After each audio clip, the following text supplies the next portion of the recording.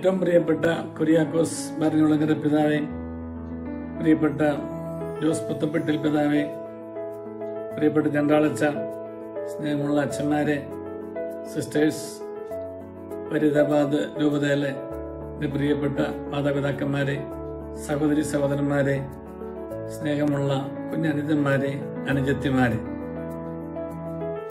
തിരുനാളിന്റെ മംഗളങ്ങൾ ആദ്യമേ എല്ലാവർക്കും സ്നേഹത്തോടെ പ്രാർത്ഥനാപൂർവം നേരുന്നു. നമ്മുടെ സമീപകാല ചരിത്രത്തിലെങ്ങും ഒരുപക്ഷെ നമ്മുടെ ആരുടെയും ജീവിതത്തിൽ നമ്മൾ കേട്ടിട്ടില്ലാത്ത ഒരു ഉയർപ്പ് ആചരണമാണ് ഒരുപക്ഷെ നമ്മൾ ഈ തവണ നടത്തിയത്. എന്നിരുന്നാൽ പോലും ഒട്ടേറെ അനുഭവങ്ങളുടെ തലത്തിൽ യാതൊരു കുറവും ഉച്ചതനായ ഈശോ നമുക്ക് വരുത്തിയിട്ടില്ല എന്ന് എനിക്ക് ഉറപ്പായിട്ട് പറയാൻ കഴിയും. ഒരു സമൂഹത്തോടൊപ്പം ചേർന്ന് ആരാധിക്കാനും തിരുക്കർമ്മങ്ങളിൽ പങ്കെടുക്കാനും സാധിച്ചില്ല എന്നുള്ളൊരു വേദന മനസ്സിൽ സൂക്ഷിക്കുമ്പോഴും കുടുംബത്തോടൊപ്പം വരുന്നതുകൊണ്ട് ആ സമൂഹത്തെ ഒന്നാകെ മനസ്സിൽ കണ്ടുകൊണ്ട് ഈശോയുടെ മുമ്പിൽ ആ കുടുംബം മാത്രമായിട്ട് ഇരുന്നുകൊണ്ട് പ്രാർത്ഥിക്കുമ്പോൾ ഈ ശുശ്രൂഷയിൽ പങ്കെടുക്കുമ്പോൾ അതേ ഒരു വലിയൊരു നിറവ് അനുഭവപ്പെടുന്ന പോലെ നമുക്ക് ദിവസങ്ങളിലെ വിവിധ ശുശ്രൂഷകളിൽ ഉണ്ടായി എന്നെനിക്ക് തോന്നുന്നു. നല്ല ദൈവത്തിന് നന്ദി പറയാം. ഈശോ ഒരുക്കിയ സംവിധാനങ്ങളിലൂടെ നമുക്ക് ഇതെങ്കിലും സാധ്യമായിരുന്നു നമ്മുടെ ഓരോരുത്തരുടെയും വിശ്വാസ പ്രമാണം നമ്മൾ ചൊല്ലുന്ന സമയത്ത് സഭവ്യത്യാസം എന്നെ എല്ലാവരും ചൊല്ലുന്ന രണ്ട് മൂന്ന് വിശ്വാസ സത്യങ്ങളുണ്ട്.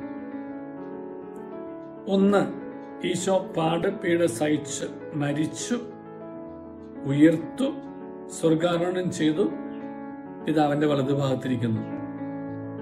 രണ്ട് അവിടുന്ന് വീണ്ടും വരും.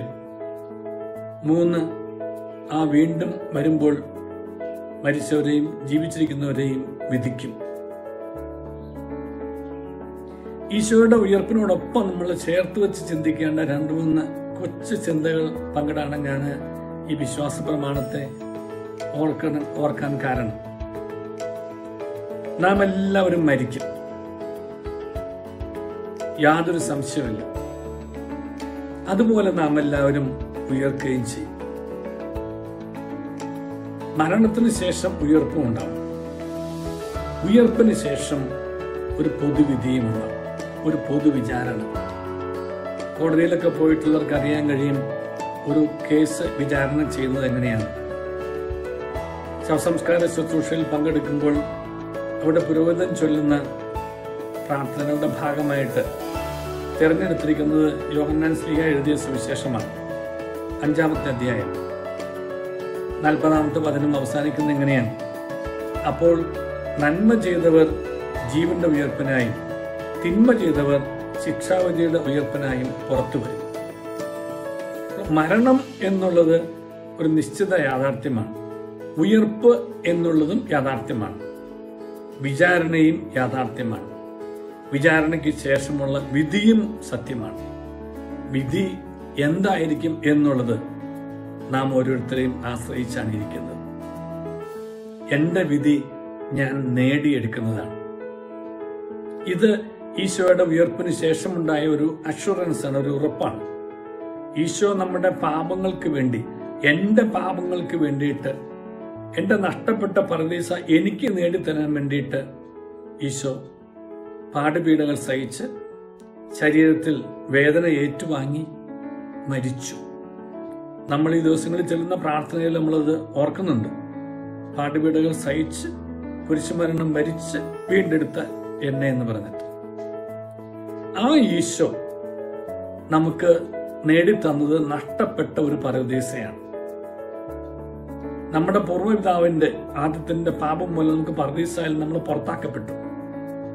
പക്ഷെ നമുക്ക് ഈശോ ഈശോയുടെ മരണവും ഉത്ഥാനവും വഴിയായിട്ട് നമുക്ക് അത് പുനഃപ്രവേശനം കിട്ടി എന്നുള്ളതാണ്. എനിക്ക് പർദീസ വീണ്ടും കിട്ടി. ഇനി ആ പർദീസായിൽ ഞാൻ വീണ്ടും പ്രവേശിക്കണമോ അവകാശം എനിക്ക് തന്നു. നമുക്ക് നമ്മുടെ പിതാക്കന്മാര് ഓരോ മരണപത്രം എഴുതി വെക്കുന്ന അവരെ നമുക്ക് വേണ്ടിയിട്ട് പലതും അവരുടെ മരണപത്രത്തിൽ എഴുതി വെച്ച് നമുക്ക് തന്നു. നമുക്ക് ദാനമായി തന്നു. അത് അനുഭവിക്കണോ വേണ്ടെന്ന് ഞാനാ തീരുമാനിക്കേണ്ടത്. അതെന്റെ തീരുമാനമാണ് എന്റെ തിരഞ്ഞെടുപ്പാണ്. അതുപോലെ തന്നെ എന്റെ വിധിയിൽ എനിക്ക് ഈശോയുടെ വലതുഭാഗത്ത് നിൽക്കാനായിട്ടുള്ള യോഗ്യത എന്നുള്ളത് ഞാൻ നേടിയെടുക്കുന്നതാണ്. ഈശോ എനിക്ക് തന്റെ മരണം വഴി നേടിത്തന്ന പറദീസായി ഞാൻ പ്രവേശിച്ച് നിത്യത അവകാശമാക്കണോ വേണ്ടയോ എന്നുള്ളത് രണ്ടാം ഭാഗം എന്റെ തീരുമാനമാണ്. ആദ്യം പറദീസ എനിക്ക് ദൈവം തന്നു. ഞാനത് നഷ്ടപ്പെടുത്തി. ഈശോ വന്നു എനിക്കത് നേടിത്തന്നു. ഇനി ഞാനത് സ്വന്തമാക്കി ഞാൻ ആ പറദീസാൽ കഴിയണമോ വേണ്ടയോ നിത്യത നേടണമോ വേണ്ടയോ എന്ന് ഞാൻ തീരുമാനിക്കും. അതാണ് യോഗനാൻ സ്ലീഹ നമ്മെ ഓർമ്മിപ്പിക്കുന്നത്. നന്മ ചെയ്തവർ ജീവന്റെ ഉയർപ്പിനായിട്ട് പുറത്തു വരും നാം എല്ലാവരും ഇപ്രകാരം ഉയർപ്പിന് ശേഷം പുറത്തു വരും. ഉയർത്ത് പുറത്തു വരും. ഈശോയുടെ ഉയർപ്പുമാരി നമുക്ക് ഓരോരുത്തർക്കും ഒരു ഉയർപ്പുണ്ട്. ആ ഉയർപ്പ് കഴിഞ്ഞിട്ട് നമ്മുടെ ആ തനതിവിധിക്ക് ശേഷമുള്ള പൊതുവിധിയുടെ സമയത്ത് നമ്മുടെ ഇടതുഭാഗമാണോ വലതുഭാഗമാണോ എന്ന് തീരുമാനിക്കുന്ന സമയമാണ് പൗലോസ്ലിയ നമ്മെ ഓർമ്മിപ്പിക്കുന്ന അതാണ് സൽകൃത്യങ്ങൾ ചെയ്യുക അലസത കൂടാതെ. മടി കൂടാതെ സൽകൃത്യങ്ങൾ ചെയ്യാൻ പറയുന്നത് അതിന് വേണ്ടിയിട്ടാണ്. കാരണം ഈ സൽപ്രവൃത്തികളാണ് ഈ സൽകൃത്യങ്ങളാണ് എനിക്ക് സ്വർഗരാജ്യം അവകാശമാക്കി തരുന്നത്. നമ്മുടെ ഇപ്രകാരം ഈശോയുടെ നീതീകരണത്തെ സംബന്ധിച്ച് അന്ത്യവിധിയോട് ബന്ധപ്പെടുത്തി പറയുന്നത് ഒരു സുവിശേഷം നാട്ടിലുള്ള മത്തായസ്ലിഹയാണ് ഇരുപത്തി അഞ്ചാമത്തെ അധ്യായത്തിലാണ്. അന്ത്യവിധി എന്ന് പറഞ്ഞിട്ടാണ് അതിന്റെ സബ് ടൈറ്റിൽ ആരംഭിക്കുന്നത്. ആ സമയത്ത് ഈശോ ആർക്കാണ് നിത്യത അല്ലെങ്കിൽ സ്വർഗം അല്ലെങ്കിൽ തന്റെ വലതുഭാഗം തരുന്നത് എന്ന് ഒന്ന് ഓർക്കുന്ന നല്ലതാണ്. ഈശോ പറയുന്നു ഈ പാവപ്പെട്ട മനുഷ്യൻ അവശരും ആർത്തരും ആലംബഹീനരും ആർക്കും വേണ്ടാത്തവരും ആരെയും പിന്നെ സ്വന്തമായിട്ടില്ലാത്തവരുമായിട്ടുള്ള ഒരു ഈശോയുടെ പ്രിയപ്പെട്ട മക്കളുടെ മുമ്പിൽ കാണപ്പെടുന്ന ദൈവമായവർക്ക് ദൈവം എപ്പോഴാണ് കാണപ്പെടുന്നത്? ദൈവിക സ്വഭാവം ഒരു മനുഷ്യനിലൂടെ പ്രകടമാകുമ്പോൾ എന്താണ് ആ ദൈവിക സ്വഭാവം? അത് അവനവനിൽ നിന്നും അപരനിലേക്കുള്ള ഒരു പുറപ്പാടാണ് എങ്ങനെയാ പുറപ്പെടുന്നത്? അത് പുറപ്പെടുന്നത് എന്നെ ഞാൻ മറക്കുകയും എന്റെ സഹോദരനെ എന്റെ ഹൃദയത്തിൽ ഇടം കൊടുക്കുകയും ചെയ്യുമ്പോഴാണ്. നമുക്ക് വലിയ കട്ടിയായ ആലോചനകളുടെ ഒന്നും ആവശ്യമില്ല. അവിടെ ഈശോയുടെ പ്രിയപ്പെട്ട മക്കൾക്ക് എന്റെ ഹൃദയത്തിൽ എന്തുമാത്രം ഇടമുണ്ട് സ്പേസ് ഉണ്ട് എന്നതിനെ ആശ്രയിച്ചാണ് എന്റെ നല്ല ദൈവത്തിന് എന്റെ ഹൃദയത്തിലെ സ്പേസ് അടങ്ങിയിരിക്കുന്നത്. എന്റെ ദൈവം എന്റെ ഹൃദയത്തിൽ കുടികൊള്ളുന്ന എത്ര സ്പേസ് ആണോ അത്രയും സ്പേസ് എന്ന് പറയുന്നത് എന്റെ സഹോദരന് ഞാൻ ഹൃദയത്തിൽ കൊടുത്തിട്ടുള്ള സ്പേസ് ആണ്. എന്താണ് ഹൃദയത്തിൽ കൊടുത്തിട്ടുള്ള സ്പേസ് എന്ന് പറയുന്നത്? അത് എനിക്ക് അവരെ ഉൾക്കൊള്ളാൻ കഴിയുന്നതാണ്. എങ്ങനെയാ ഉള്ളിൽ കൊള്ളുന്നത്? അത് സ്വന്തമായി കരുതുമ്പോഴാണ്. സ്വന്തം ജനത്തിന് ജീവനേകാണെന്ന് പറഞ്ഞ മാതിരി അവർ സ്വന്തം ജനമായി കണ്ടുകൊണ്ട് സ്വന്തമായി കണ്ടുകൊണ്ട് അവർക്ക് വേണ്ടിയിട്ട് ഞാൻ എന്നെ തന്നെ മുറിച്ചു കൊടുക്കുവാനും എന്റെ പങ്ക് കൊടുക്കുവാനും എന്റെ പങ്ക് വയ്ക്കുവാനും ഒക്കെ തയ്യാറാവുമ്പോൾ. അപ്പോൾ അവർക്ക് വേണ്ടിയിട്ട് ഞാൻ ഇവിടെ ഒരു സ്വർഗം പണിയുക എന്നുള്ളതാണ് എന്റെ എന്റെ സ്വർഗരാജ്യ പ്രവേശനത്തിന്റെ ഇതാണ് ഈശോ പറയുന്ന നിക്ഷേപം. സ്വർഗരാജ്യത്തിൽ നിക്ഷേപം കരുതി വയ്ക്കുക എന്ന് പറയുന്നത്. നമ്മളിവിടെയുള്ള ഒന്നിലും നിക്ഷേപം കൊണ്ട് യാതൊരു കാര്യമില്ല നമ്മുടെ സിസ്റ്റർ മേരി ബെനിഞ്ഞാമ അല്ലെ മേരി തോട്ടം നമ്മെ ഓർമ്മിപ്പിക്കുന്നില്ലേ? ഒരിക്കൽ ഈ ജഡത്തെയും ഈ ജഗത്തെയും പിരിഞ്ഞു നാം തിരിക്കണം. വിസമ്മതങ്ങൾ ഒന്നുമേ ഫലപ്പെടാം. തിരിച്ചു വന്നിടാത്ത യാത്രയാണ്.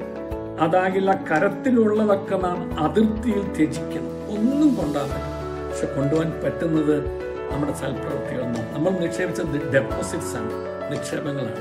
ആ നിക്ഷേപങ്ങളാണ് എനിക്ക് സ്വർഗീയ നിക്ഷേപം നേടിത്തരുന്നത് എന്റെ നിത്യത നേടിത്തരുന്നു. എന്റെ നിത്യത നേടിത്തരുന്ന നിക്ഷേപങ്ങൾ ഈ സ്വർഗത്തിൽ കരുതി വയ്ക്കാൻ ഈശോ നമ്മോട് ആവശ്യപ്പെടുന്നു ഈ ഉയർപ്പിനകത്തുള്ള ഏറ്റവും വലിയ മഹത്തായ ഒരു സന്ദേശം എന്റെ മനസ്സിൽ വ്യക്തിപരമായി എനിക്ക് തോന്നിയിട്ടുള്ളത് എന്റെ ഉയർപ്പിന് ശേഷം എന്റെ നിത്യവിധി.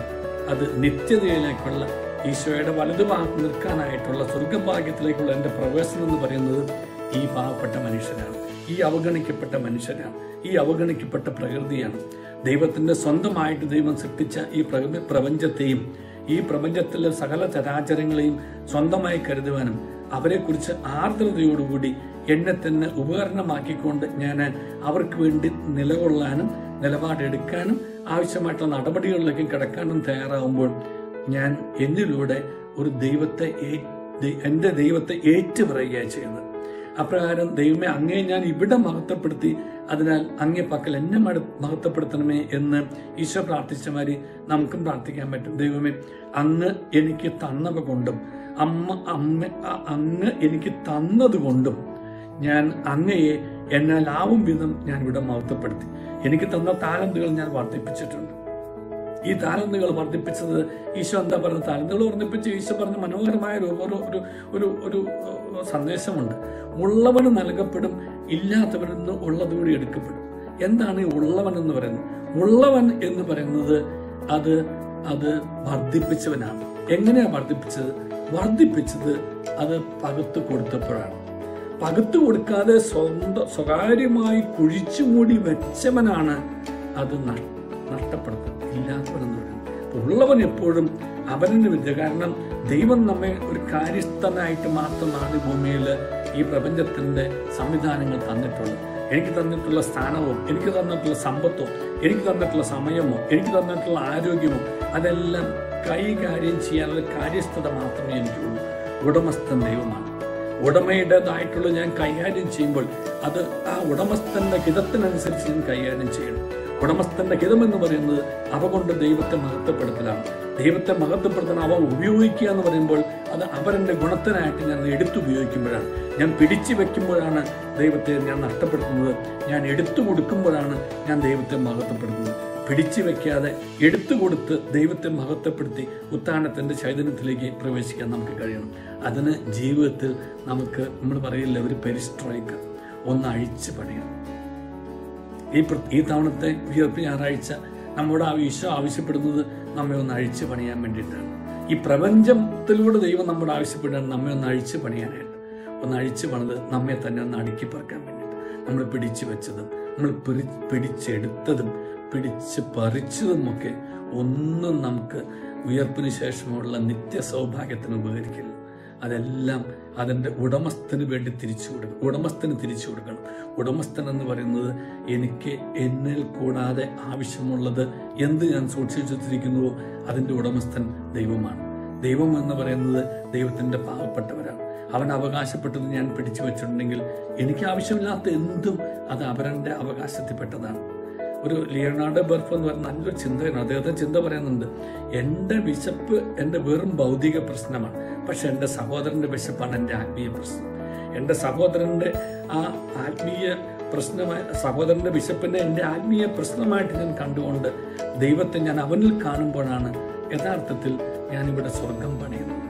അപ്രകാരം സ്വർഗം പണിയാൻ ഈ ഉയർപ്പ് ഞായറാഴ്ചയുടെ ഈ ആചരണം നമുക്ക് സഹായമാവട്ടെ എന്ന് പ്രാർത്ഥിക്കുന്നു. ഉത്തിതനായ ഈശോ ഹൃദയത്തിൽ എഴുന്നള്ളി വരണമേ എന്ന് പ്രാർത്ഥിച്ച് ആശ്വസിച്ച് പറഞ്ഞ എളുപ്പമാണ് പക്ഷെ നമുക്ക് ഈ ഉയർപ്പ് ഞായറാഴ്ച ഒരു പ്രാർത്ഥന കൂട്ടിച്ചേർക്കാം ഉത്തിതനായ ഈശോയെ അന്ന് എന്റെ ഹൃദയത്തിൽ എഴുന്നള്ളി വന്ന് അന്ന് എന്റെ ജീവിതത്തിൽ ഇടപെട്ട് എന്റെ ജീവിതത്തെ ഒന്ന് അഴിച്ചു കളഞ്ഞ് ഒന്ന് അടുക്കി പറക്കി ജീവിതത്തെ ദൈവോന്മുഖമാക്കാൻ അനുഗ്രഹിക്കണം ദൈവത്തിന് നിരക്കാത്തതായിട്ട് എന്നിലുള്ളതെല്ലാം മാറ്റണം ദൈവത്തിന് നിരക്കാത്തത് നിരക്കുന്നതായിട്ടുള്ള എല്ലാം എന്റെ ജീവിതത്തിൽ കൂട്ടിച്ചേർക്കാനും ദൈവം അങ്ങനെ അനുഗ്രഹിക്കണം. അങ്ങനെ ദൈവമേ അങ്ങയെ ഇവിടെ മഹത്വപ്പെടുത്തി. അങ്ങ് രണ്ടാമത് വരുന്ന സമയത്ത് ഉയർത്തെഴുന്നേറ്റ് അങ്ങയുടെ വലത് ഭാഗത്ത് നിൽക്കാനായിട്ട് അങ്ങ് ഞങ്ങൾ ഓരോരുത്തരെയും അനുഗ്രഹിക്കുന്നു. ഉയർപ്പ് നിശ്ചയമാണ്. നിശ്ചയമായ ഉയർപ്പിന് ശേഷം നിത്യ സൗഭാഗ്യം എന്നുള്ളത് എന്റെ തീരുമാനവും എന്റെ തിരഞ്ഞെടുപ്പുമാണ്. ഇവിടെ നടക്കുന്ന തീരുമാനവും തിരഞ്ഞെടുപ്പും അനുസരിച്ചിട്ടാണ് എട നിത്യ സൗഭാഗ്യം. നല്ല ഭാഗ്യം തിരഞ്ഞെടുക്കാനായിട്ട് ദൈവം നമ്മെ ഈ ഈസ്റ്റർ ഞായറാഴ്ചയുടെ ആചരണത്തിലൂടെ അനുഗ്രഹിക്കട്ടെ.